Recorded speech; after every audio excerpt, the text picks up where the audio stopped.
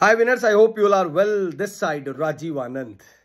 Winners bitcoin halving को अब सिर्फ़ 23 और 24 दिन रह गए हैं 15 और 16 अप्रैल 2024 को बिटकॉइन हॉल्विंग होना है और उसका सीधा सा इंपैक्ट क्रिप्टो मार्केट में आना है bitcoin spot ETF bitcoin halving और कहीं ना कहीं पर आज की डेट में ट्विटर पर इथेरियम के स्पोर्ट ईटीएफ कंफर्मेशन के ट्वीट्स भी आने स्टार्ट हो चुके हैं सीधा इंडिकेट कर रहा है crypto currency market is going to the blast side but the problem is this कि हम लोग बुल रन के लिए कौन से जो कैटेगरीज हैं, उन पर फोकस करें। तो पाँच कैटेगरी आपको बताने जा रहा हूँ।